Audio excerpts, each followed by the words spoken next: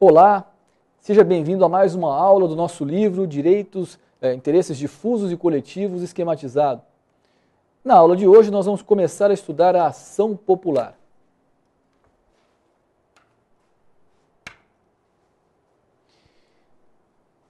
Ação popular, que é uma ferramenta por meio da qual o cidadão pode participar da vida política. O cidadão pode participar do controle dos atos da administração fiscalizando a sua idoneidade, uma ferramenta de democracia participativa, por meio da qual o cidadão participa então do controle dos atos da administração, mas não apenas isso. Por meio da ação popular, o cidadão pode também fazer a defesa do meio ambiente, haja ou não interesse direto de algum ente da administração pública. A ação popular assim como a ação civil pública e a ação, uh, o mandado de segurança coletivo, é uma ação coletiva em sentido estrito, integra o gênero das ações coletivas em sentido amplo. Por quê? Porque, assim como por meio da ação civil pública e do mandado de segurança coletivo, através da ação popular é possível defender direitos ou interesses transindividuais. Direitos ou interesses transindividuais. No caso específico da ação popular, é possível tutelar algumas espécies de direitos difusos, a saber, a integridade do patrimônio público, a moralidade administrativa e o meio ambiente, seja no aspecto natural, seja no aspecto artificial, seja no aspecto cultural, ou seja, que engloba o patrimônio, o patrimônio histórico e o patrimônio cultural. Portanto, é uma espécie do gênero ação coletiva em sentido amplo. Aqui nós, nós vemos que as ações coletivas em sentido amplo comportam três espécies de ações coletivas em sentido estrito: as ações civis públicas, inclusive a ação de improbidade eh, administrativa, a ação popular e o mandado de segurança coletivo.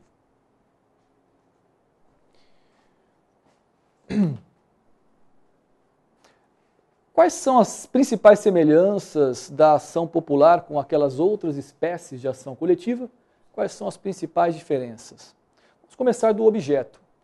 Como eu lhe falei antes, a ação popular ela serve para a tutela de algumas espécies de direitos difusos. Já o objeto da ação civil pública pode ser mais amplo. Ela pode ser manejada em prol não apenas de direitos difusos, como também de direitos coletivos ou de direitos individuais homogêneos. O mandado de segurança coletivo também tem um espectro objetivo mais amplo que o da ação popular, porque ele pode ser manejado em favor de direitos individuais homogêneos, em favor de direitos coletivos e, para parte da doutrina, também em favor de direitos difusos. Essa é uma questão controvertida que nós vamos estudar melhor no capítulo 4 do nosso livro-aula. A legitimidade da ação popular também é diferente daquela da ação civil pública e do mandado de segurança coletivo. Na ação popular, quem tem legitimidade ativa ad causa são os cidadãos e apenas os cidadãos. Já no caso da ação civil pública, os cidadãos não têm legitimidade ativa. São determinados entes previstos num rol exaustivo do qual o cidadão não faz parte. E no caso do mandado de segurança coletivo, também os entes com legitimação ativa são em rol exaustivo que não engloba os cidadãos. Outra diferença entre a ação popular e aquelas outras espécies de ação coletiva diz respeito ao seu procedimento. O procedimento na ação popular, ele é o procedimento ordinário com algumas peculiaridades. Então, nós temos o procedimento ordinário do CPC com algumas particularidades estabelecidas na lei da ação popular. Já a ação civil pública, ela comporta não apenas o procedimento ordinário do CPC, como também o procedimento sumário e até mesmo procedimentos especiais. E, finalmente, o mandado de segurança coletivo tem um procedimento especial que lhe é específico. Ele não tem procedimento ordinário, ele tem um procedimento que lhe é específico. Vamos ver aqui mais alguns slides para fixarmos o conteúdo.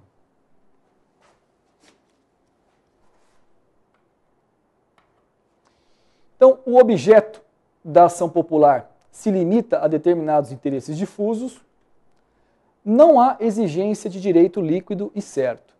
Então, veja aqui que nós temos uma outra diferença da ação popular em relação ao mandado de segurança coletivo. O mandado de segurança coletivo exige a, a presença de direito líquido e certo, que é aquela prova documental, aquela prova que se faz simplesmente por meio de documento, desnecess... se tornando desnecessária a realização de outras provas testemunhais, periciais e assim por diante. É aquele fato que pode ser provado documentalmente. Na ação popular não existe essa limitação. Não é necessário que haja direito líquido e certo é possível fazer outros tipos de prova na ação popular, inclusive a prova testemunhal, a prova pericial. Legitimidade pode ser proposta por qualquer cidadão e o procedimento segue o ordinário com algumas peculiaridades. A previsão constitucional, previsão constitucional da ação popular está no artigo 5 inciso 73 da Constituição da República. Já a previsão legal, a sua normatização legal, está na Lei 4717 de 1965, que é a Lei da Ação Popular. Vamos ver aqui então o que, que o inciso uh, eh, 73 do artigo 5 da Constituição Federal nos diz a respeito da ação popular.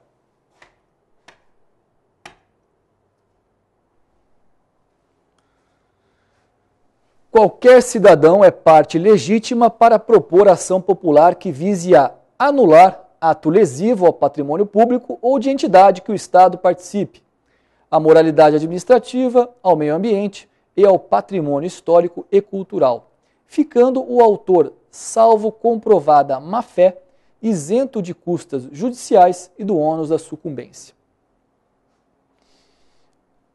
Outra coisa interessante para ser dita em caráter introdutório sobre a ação popular é que o artigo 22 da Lei de Ação Popular determina a aplicação subsidiária naquilo que não contrariar essa lei do Código de Processo Civil.